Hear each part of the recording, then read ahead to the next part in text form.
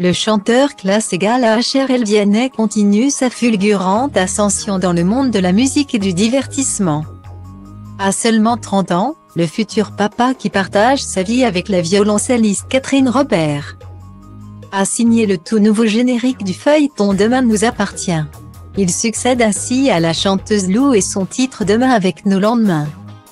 Cette nouvelle chanson a été dévoilée à l'occasion du millième épisode de la série diffusée chaque soir sur TF1. Si les fans se sont réjouis de ce vent de nouveautés, ce n'est pas le cas des proches du chanteur. Qui sont à bout? Ma famille me dit déjà tu nous saoules, on t'entend dès qu'on allume la radio.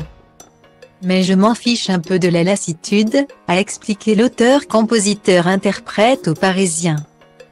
Le plus jeune juré de The Voice a déclaré devoir beaucoup à un ancien professeur du télécrochet Star Academy.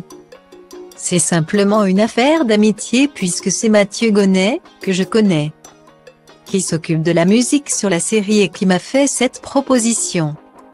Sur Instagram, Vianney a partagé sa nouvelle chanson avec ses abonnés en story.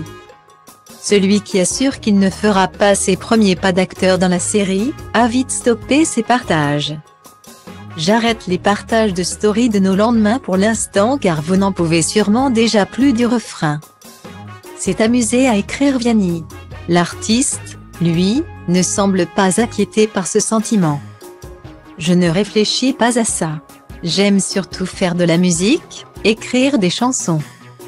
Tant mieux si elles passent, c'est ce qu'on peut souhaiter à n'importe quel artiste, confie-t-il au journal. Les fans de Vianney se délecteront donc des nouvelles sonorités en regardant la série car, pour l'heure, le chanteur ne compte pas chanter sa nouvelle composition durant ses concerts, ni même l'enregistrer pour son prochain album. C'est vraiment un titre isolé, a-t-il précisé. L'interprète de Pour de vrai, proche de Maître Jim, a dorénavant un point commun avec ce dernier. En effet, l'ancien membre du groupe Section d'Assaut ouvre également un feuilleton télévisé, Ici tout commence avec son titre Jusqu'ici tout va bien. Une drôle de coïncidence.